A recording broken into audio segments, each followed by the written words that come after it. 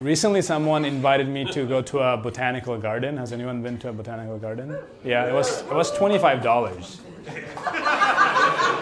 I'm like, do they know there are free trees outside? Like, what the? When's the last time you saw a tree and you're like, I should pay for this? Look at, look at that trunk, dude. Holy shit! They should be behind a paywall. Maybe an OnlyFans for trees. We'll call it botanical garden or something.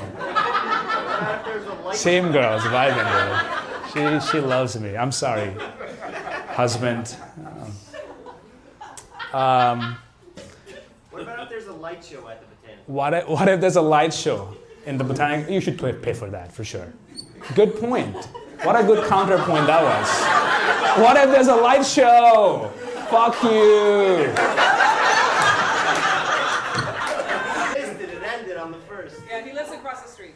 Oh, do you actually work in the botanical garden? I don't. Oh, I live across the street and it's, of the botanical garden. There's a light show. Did you go to the light show? it makes it worth it. Did you go to it?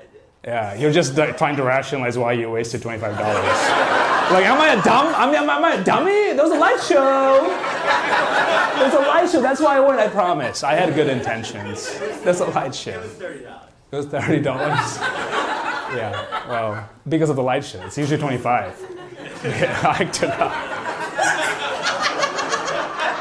I can't believe we're having this conversation right now. Live show. That's why I went. Strip. I don't only go to strip club, but they had free wings. That's why I went.